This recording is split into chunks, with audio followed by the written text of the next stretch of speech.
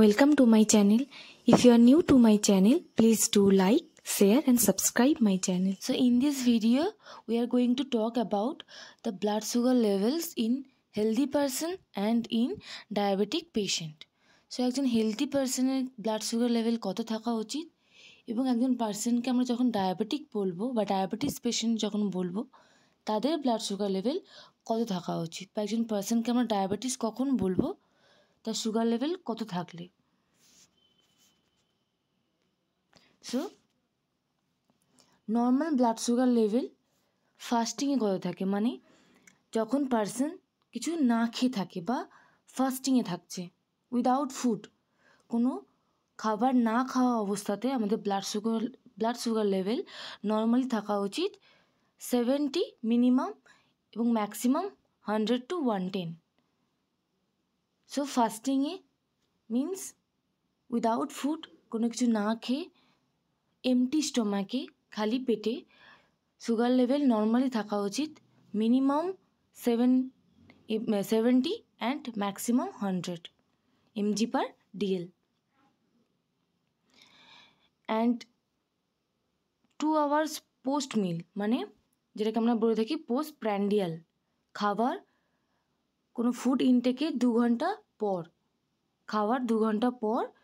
সেটাকে আমরা বলি two hours post meal or post prandial PP তো সেক্ষেত্রে নর্মাল পার্সনের ক্ষেত্রে সুগার থাকা উচিত বিলো ওয়ান ফর্টি একশো চল্লিশ এমজি পার ডিএলের নিচে, কম লেস দ্যান ওয়ান ফর্টি এটা তোমার নর্মাল পার্সনের ক্ষেত্রে হেলদি পার্সনের এই রকম ভ্যালু থাকা উচিত। ফাস্টিংয়ে seventy to one ten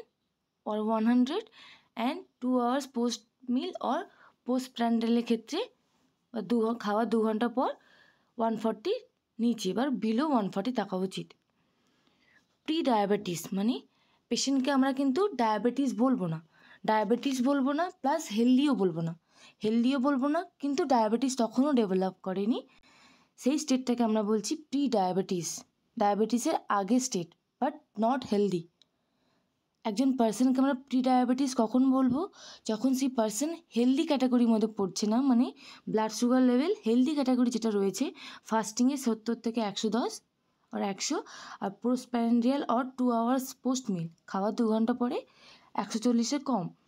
so এই ভ্যালু কোনোটাই সেই পার্সনে থাকছে না, কিন্তু ডায়াবেটিসেরও ভ্যালু থাকছে না। মাঝামাঝি স্টেটটাকে ডায়াবেটিসের আগে বাট হেলদি নয়। সেটাকে আমরা বলব প্রি ডায়াবেটিস তো সেক্ষেত্রে ফাস্টিংয়ে ব্লাড সুগার থাকছে ওয়ান জিরো ওয়ান মানে above hundred below one twenty five minimum থাকছে একশো এক ম্যাক্সিমাম ওয়ান টোয়েন্টি ফাইভ তাহলে পোস্ট প্রি ডায়াবেটিস কখন বলব? ওয়ান জিরো ওয়ান থেকে ওয়ান টোয়েন্টি ফাইভ যখন ফাস্টিংয়ে অর এমটি স্টোমাকে খালি পেটে বা উইদাউট ফুড খাবার না খেয়ে ফাস্টিংয়ে যখন ব্লাড সুগার একশো এক থেকে একশো পঁচিশের মধ্যে থাকবে, সেটাকে আমরা বলব পঁচিশ এমজি পার ডিএলের মধ্যে থাকবে, সেটাকে আমরা বলব প্রি ডায়াবেটিস পেশেন্ট অথবা যদি two hours post meal or post প্র্যান্ডিয়ালে or PP value খাওয়ার দু ঘণ্টা পর যদি ব্লাড সুগার লেভেল থাকে ওয়ান ফর্টি থেকে দুশোর মধ্যে, সেটাকে আমরা বলব, সেই সমস্ত পেশেন্টকে আমরা বলব প্রি ডায়াবেটিস পেশেন্ট মানে ডায়াবেটিস ডায়াবেটিসের আগের state not healthy this person is not healthy next is diabetes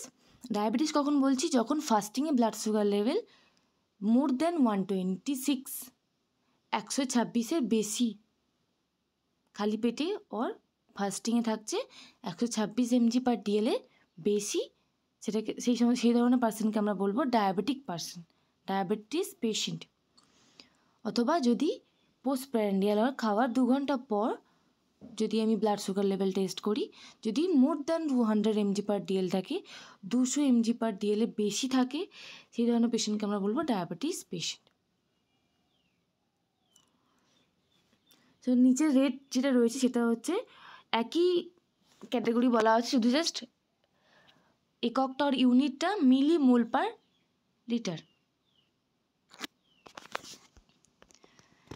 So, next come to HbA1c test. Is Hb A one C diabetic পেশেন্টদের ক্ষেত্রে Hb A one C test করা হয়ে থাকে। আর diabetes আইডেন্টিফিকেশনের জন্য স্ক্রিনিংয়ের জন্য আমরা Hb A one C test করে থাকি। সো এটা এক ধরনের টেস্ট যেখানে একটা পার্সনের দুই থেকে তিন মাসের ব্লাড সুগার লেভেলটার অ্যাভারেজ অর গড় ভ্যালুটাকে আমরা এইচবি ওয়ান সি টেস্টের মাধ্যমে আইডেন্টিফাই করি। সো এই টেস্ট এই টেস্টের মাধ্যমে আমরা মেজার করছি একজন পার্সনের একজন ইন্ডিভিজুয়ালের last two two three months last দুই থেকে তিন মাসের অ্যাভারেজ আর গড় ব্লাড সুগার লেভেলটাকে আমরা বলছি Hb C test so it measures your average blood sugar levels over last two three two two three months দুই থেকে তিন মাসের লাস্ট ব্লাড সুগার লেভেলের গড়টাকেই আমরা বলছি এইচবি সি টেস্ট সো যারা যারা তোমার ডায়াবেটিস পজিটিভ পেশেন্ট ও ডায়াবেটিস স্ক্রিনিংয়ের ক্ষেত্রে আমরা Hb A one C test করে থাকি। এবং এটা এই Hb A one C test every two three two six months ইন্টারভেলে করা হয়ে থাকে। Usually done every three two six months interval এবং এটা, এখান থেকে আমরা এই টেস্টে আমরা যে ব্লাডটা কালেক্ট করছি বা ব্লাডটা টেস্ট করছি, সেই ব্লাডটা ফিঙ্গার অথবা আর্ম থেকে আমরা নিতে পারি। এটা এই টেস্টের জন্য ডক্টরসের প্রেসক্রিপশন ছাড়াই আমরা এই টেস্ট করতে পারি। এবং এই টেস্টের মাধ্যমে আমরা টাইপ টু ডায়াবেটিস মেলাইটাস বা কোনো পেশেন্ট যদি রিস্কে থাকে অ্যাট রিস্ক রিস্ক পেশেন্টদেরকে আমরা আইডেন্টিফাই করতে পারি বা স্ক্রিনিং করতে পারি বা আর্লি ডায়াগনোসিস করতে পারি by Hb A one C test so Hb A one C টেস্টের value Hb A one C টেস্টের মাধ্যমে আমরা কীভাবে ডায়াগনোস করব একজন পেশেন্টকে যে patient diabetes diabetic patient or healthy patient so Hb A one C test wise একটা পার্সনকে আমরা হেলদি অর নর্মাল কখন বলব? যখন এইচবি এ ওয়ান সি টেস্টের value below five point seven percent থাকছে। মানে below five point seven percent আর less than five percent seven five point seven percent মানে যেখানে ব্লাড সুগার লেভেল থাকছে